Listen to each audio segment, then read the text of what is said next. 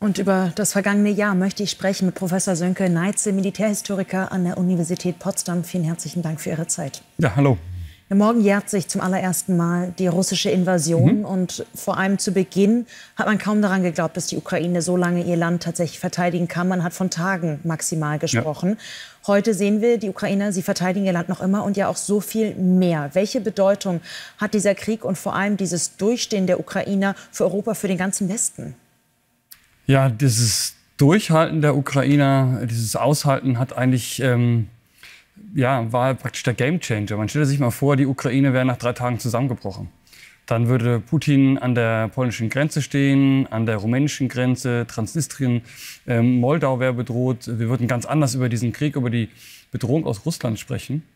Und es zeigt eben auch, dass Kriege nicht voraussehbar sind. Das ist sagen der Nebel des Krieges. Und wir alle haben ja gedacht, oder viele haben gedacht, das ist nur eine Sache von Tagen. Und man hat eben unterschätzt, wie sehr die Ukrainer doch vorbereitet waren und äh, welchen Verteidigungswillen sie eben auch haben. Aber das war eigentlich der große Gamechanger. Wir hatten eine völlig andere internationale Lage.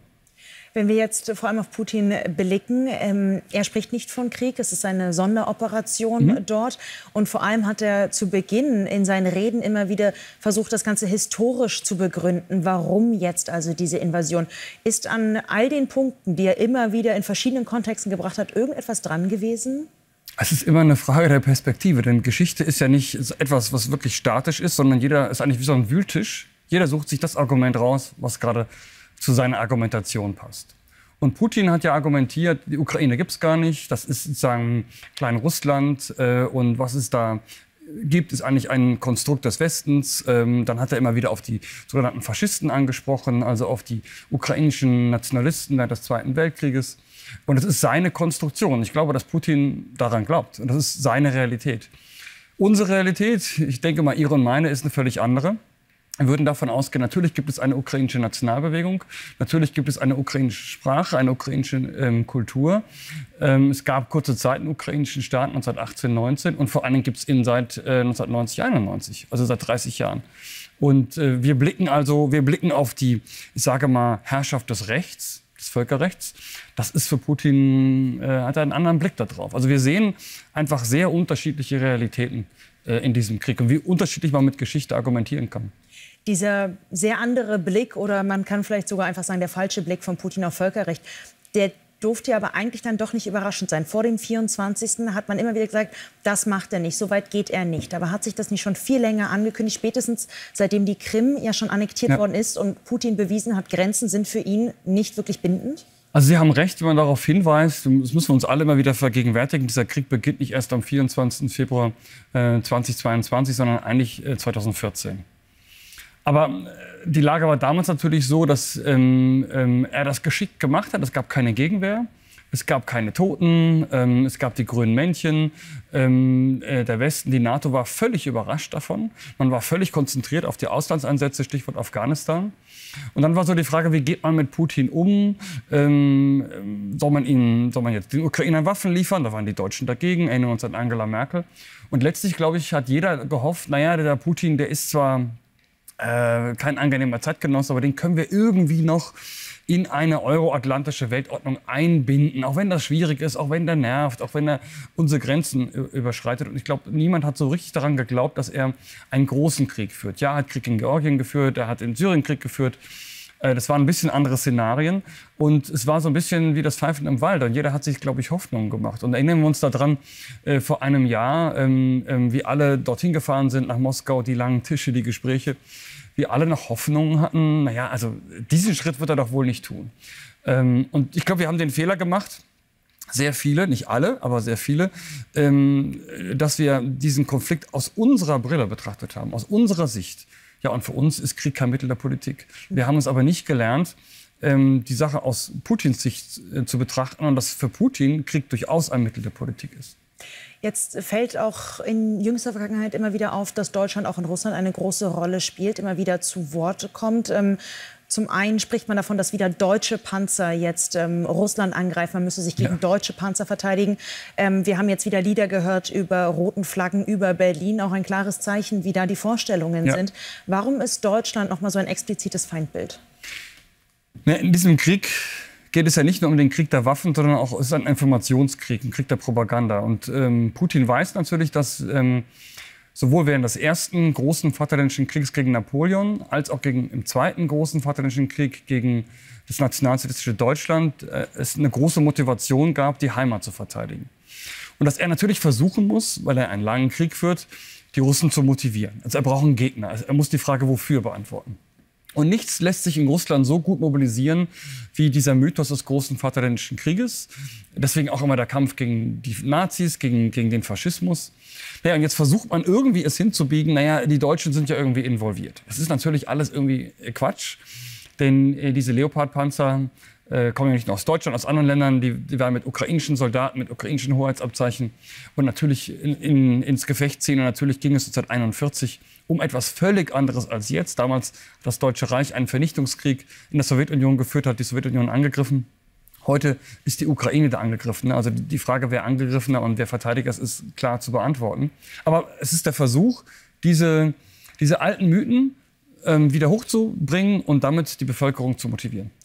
Und ein historischer Vergleich kommt jetzt immer öfter, der Kalte Krieg. Denn die USA sind der absolute Machtgegner Russlands ja, und die ja. beiden Länder jetzt ähm, ja doch so zerstritten oder wie man das auch formulieren will, wie damals. Würden Sie jetzt schon wieder von einem neuen Kalten Krieg, von einem eisernen Vorhang sprechen? Ja, also der, der Kalte Krieg äh, aus meiner Sicht beginnt eigentlich schon 2014, weil das ist eigentlich der Moment, in dem die NATO umgeschwenkt ist. Von Auslandsansätzen hin zur Landes- und Bündnisverteidigung. Die, erinnern uns daran, die Deutschen haben keine Waffen an die Ukraine geliefert, aber die Amerikaner und die Briten sehr wohl. Und das ist ein Grund gewesen, warum die Ukrainer überhaupt überlebt haben, weil die ukrainische Armee von Amerikanern und Briten ausgebildet wurde, weil es Waffenlieferungen gab und so weiter. Und damit äh, war das schon ein, ein, äh, so ein Stellvertreterkampf, den es ja auch schon im Donbass schon gab. Und die Ukraine hätte ja das gar nicht so durchhalten können ohne westliche Unterstützung.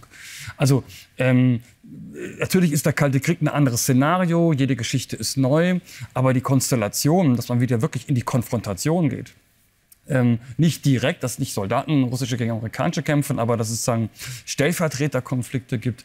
Ähm, das haben wir eigentlich seit 2014 und jetzt natürlich verschärft 2022. Also das ist völlig klar. Wenn wir auf die Weltordnung aktuell blicken, wenn Putin eins nicht geschafft hat, dann ist es den Westen zu spalten. Das wird immer wieder betont, man ist noch näher zusammengekommen. Aber auf der anderen Seite scheint sich auch ein neuer Block, eine, eine Freundschaft zwischen Moskau und Peking zu entwickeln, die vielen auch Sorgen bereitet. Ja. Wie gefährlich kann das tatsächlich werden?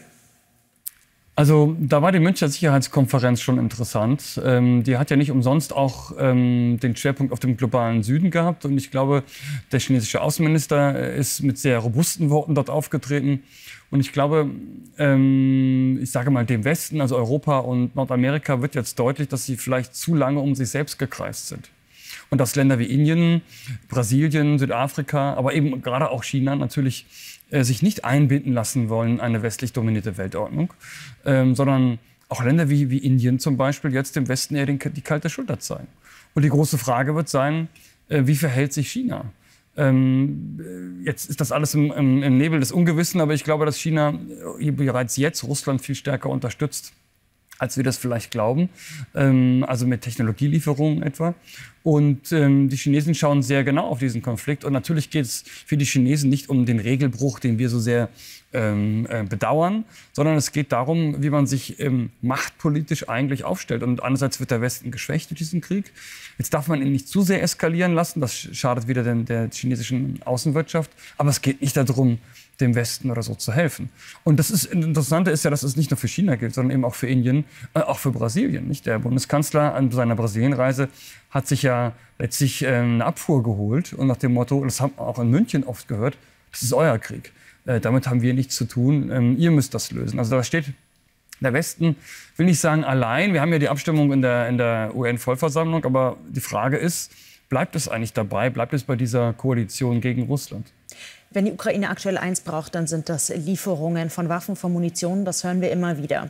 Interessant ist aber, was eingesetzt wird. Denn zum einen ist das ein Krieg 2022, 2023 mit modernster Technik. Und auf der anderen Seite sind es Bilder fast, die man aus dem Zweiten Weltkrieg kannte. Es sind Soldaten auf dem Boden, es sind Panzer. Ja. Was für ein extremer Gegensatz ist das in der Kriegsführung? Ja, es ist, es ist ein Gegensatz. Ähm, da haben Sie völlig recht. Und mich erinnern die Bilder sogar mehr noch als an den Zweiten, an den Ersten Weltkrieg. Denn was die Russen einerseits äh, machen, also sie führen ja eigentlich einen, einen Artilleriekrieg, der uns an den Ersten Weltkrieg erinnert. Die Panzerwaffe kommt kaum zum Einsatz. Das wäre sagen ein Element des Zweiten Weltkrieges. Und sie zwingen damit den Ukrainern ihre Form des Krieges auf. Die Ukrainer sind sehr gut, wenn es darum geht, flexibel zu agieren. Kleine Truppen, das haben wir am Anfang gesehen. Sie haben die Russen in ihr Land gelassen, haben dann den Nachschub angegriffen.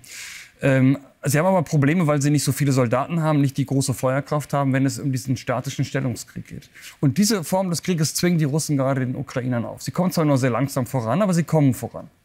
Also das ist diese alte archaische Form, Erster Weltkrieg, Stichwort.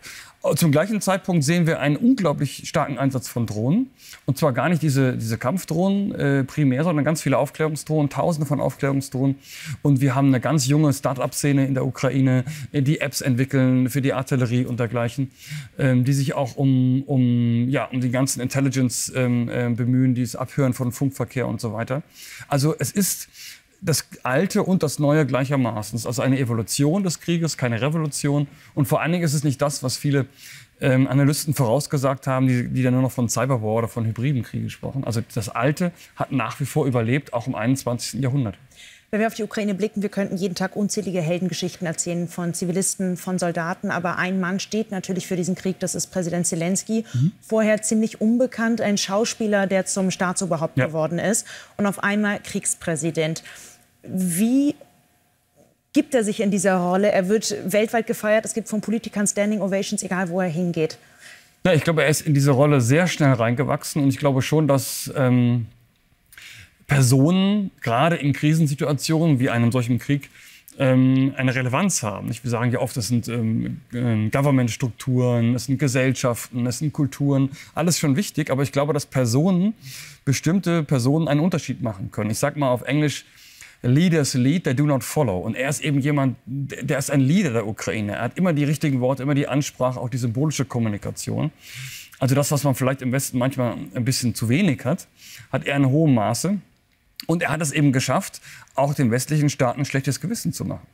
Mit, dem, mit der Art und Weise, wie er aufgetreten ist. In der München Sicherheitskonferenz sprach er ja vom Kampf von David gegen Goliath und er war keine Steinschleuder, um Goliath zu bekämpfen. Also diese Metaphern, die er benutzt, der ist auch nicht so, so aggressiv wie Melnik, der äh, ukrainische Botschafter hier in Berlin. Also er hat da äh, schon eine bessere, äh, ein besseres Fingerspitzengefühl.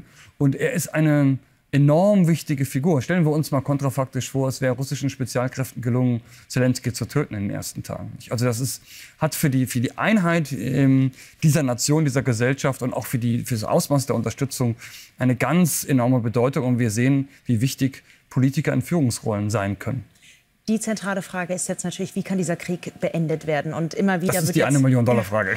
Immer wieder wird über Friedensverhandlungen ja. gesprochen, aber der Ukraine ist klar und den westlichen Partnern, die Ukraine darf dafür nicht was hergeben müssen. Glauben Sie, zum jetzigen Zeitpunkt ist das mit Russland überhaupt machbar, auch nach der letzten Ansprache, die wir wieder von Putin gehört haben? Ja. Also Zelensky ist da und auch die ukrainischen Meinungsumfragen sind da sehr klar, dass sie sagen, ähm, wir müssen das gesamte ukrainische Territorium befreien, Donbass inklusive Krim ich kann nur sagen, ich halte das schon aus militärischen Gründen für, aus dem jetzigen Zeitpunkt für sehr unrealistisch. Also ich schaue natürlich auch nicht ähm, äh, allzu tief in die ukrainischen Streitkräfte rein, aber das, was ich weiß, äh, kann ich nur sagen, ich sehe das nicht. Es geht eher darum, dass die Ukraine diesen Krieg nicht verliert. Und welches Ergebnis es dann hat, ist eben die große Frage. Und ähm, was sicherlich richtig ist, China hat ja nun den großen Friedensplan angekündigt, dass auch die westlichen Staaten sich da von China nicht die Butter vom Brot nehmen lassen sollen. Also wir müssen sicherlich auch initiativ werden. Aber wie das aussehen kann, ist zum jetzigen Zeitpunkt sehr, sehr schwer zu verhandeln. Und vor allen Dingen sind das Sachen, die eigentlich nur schwer öffentlich verhandelt werden können. Es ist eigentlich nichts für Talkshows, sondern es ist eher was für Geheimdiplomatie. Aber dass es irgendeine Form von Kompromiss äh, wird geben müssen, also ich kann es mir zumindest aus militärischen Gründen zurzeit nicht anders vorstellen. Ob das ausreicht, um wirklich einen Frieden zu schließen, ist wieder die nächste Frage. Denn Putin ähm, wird sich nicht einfach als Verlierer aus diesem Krieg zurückziehen, wenn er nicht auf dem Schlachtfeld wirklich geschlagen ist. Und danach sieht es bis jetzt nicht aus. Die abschließende Frage dann, wenn es irgendwann einen Frieden in welcher Form auch immer geben wird, wird die Welt, die Weltordnung, die wir danach sehen, eine ganz andere sein als vor diesem Krieg? Also ich glaube, schon vor 2022 hat sich ja äh, eine sehr multipolare Welt äh, eingestellt. Das hat sich zurechtgerüttelt und ich glaube nicht, dass wir jetzt eine bipolare Ordnung wieder bekommen, sondern wir sehen das jetzt ja auch, dass der globale Süden wichtiger wird, dass die BRICS-Staaten, also Brasilien, Indien, China wichtiger werden. Ist die Frage, wie weit China, ob es wirklich zum globalen Hegemon aufsteigt. Ob das 21. ein chinesisches wird, das ist noch nicht geschrieben. Ich würde eher in diese Richtung interpretieren, die wir schon hatten, dass es eben eine multipolare Ordnung gibt, die aber antagonistischer ist, als wir so uns eigentlich gewünscht haben. Wir hatten uns ja immer so ein bisschen als offener Handel, Handelswege vorgestellt. Also das wird, Krieg ist ein Mittel der Politik, auch der Großmächte. Das muss ja offensichtlich die Schlussfolgerung sein aus diesem Krieg. Herr Professor Neitzel, vielen herzlichen Dank für Sehr die Einschätzungen. Danke.